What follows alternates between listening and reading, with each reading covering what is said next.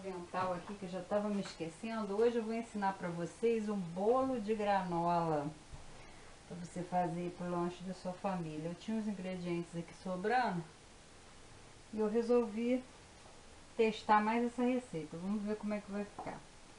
Primeiramente eu vou estar tá colocando uma xícara de açúcar. Aí eu vou botar uma xícara de, fe... de farinha de arroz, tá? Meia xícara de linhaça em pó, farinha de linhaça, aliás, ó.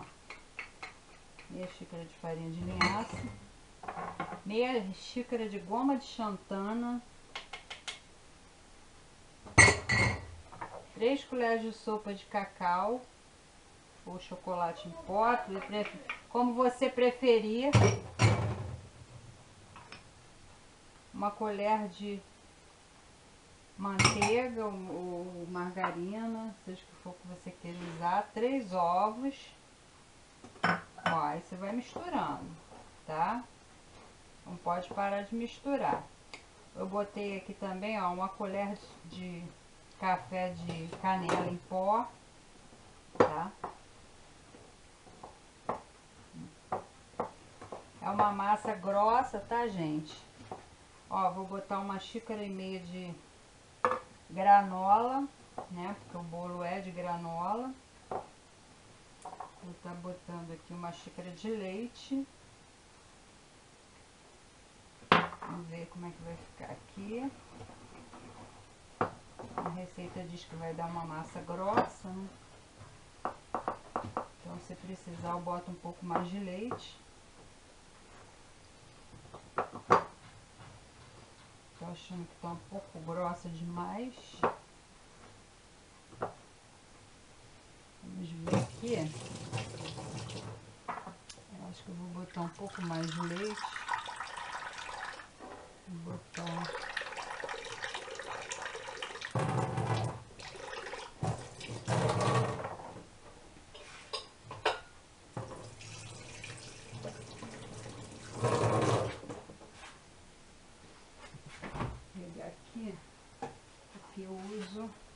leite em pó, tá, gente? Então...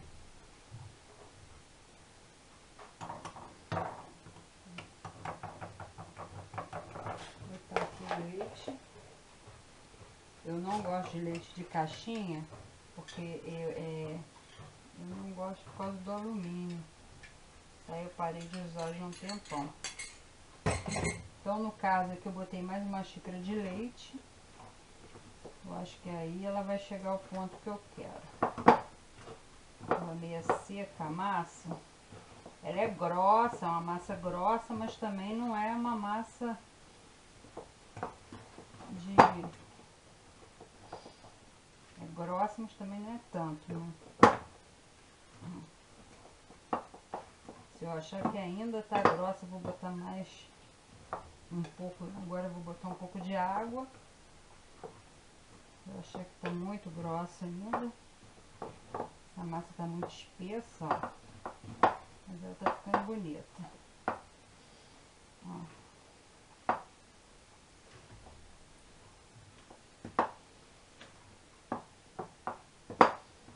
Eu vou estar tá botando também o fermento, que é um dos últimos ingredientes, uma sopa de fermento, tá? Eu acho que não vai precisar mais não, acho que duas xícaras de leite foi o suficiente para a nossa massa. Agora vamos misturar bem. Eu vou colocar também, gente, um pouco de passa, tá? Ó. Isso é de olho, pode ser, sei lá, uma meia xícara, talvez, entendeu? É só para dar um tchan nesse bolo de granola aqui que eu vou estar tá, fazendo aqui, testando mais essa receita. Como é que ele vai ficar, gente. Dá só mais uma misturadinha, ó.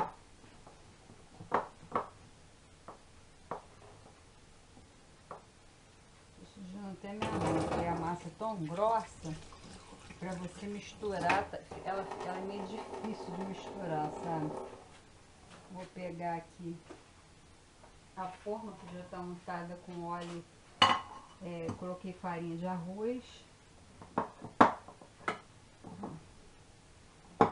Tá colocando aqui, você vê que a massa é bem firme, ó.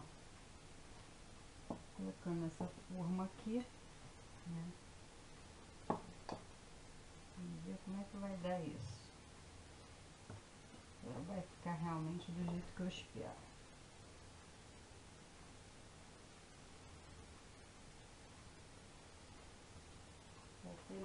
Ligando aqui o forno de uma vez.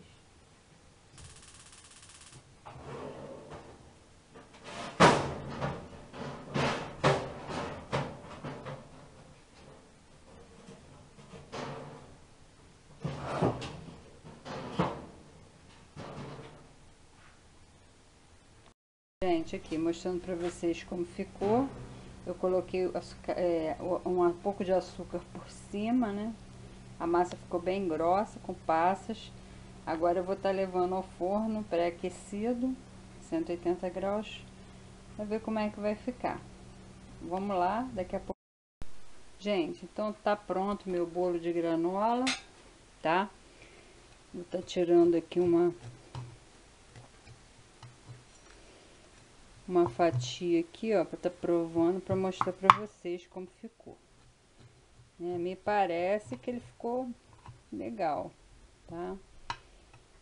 Agora basta a prova do, de fogo, que é, que é a prova do, do paladar, né? Vamos ver como é que ficou isso. Tá muito quente, tá, gente, ó. Parece que tá um, um tipo de massa úmida, ó.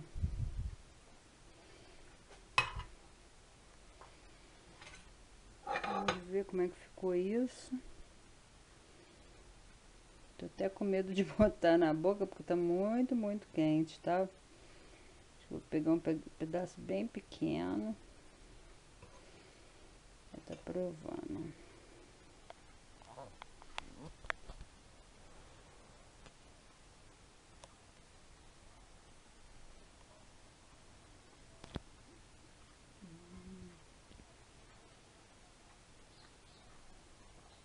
Sabor bem diferente. Entendeu? É natural. Ele fica assim. É, eu aconselho para quem gosta de, de doce, assim, muito doce, botar mais açúcar. Como eu botei uma xícara só, ele ficou aquele bolo gostoso, mas sem aquele melado. Então, mesmo assim eu gostei. Muito boa a textura. Faz aí pra sua família, ó.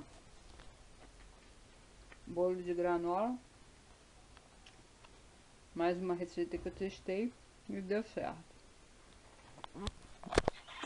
Beijão pra vocês e uma ótima, um ótimo final de tarde.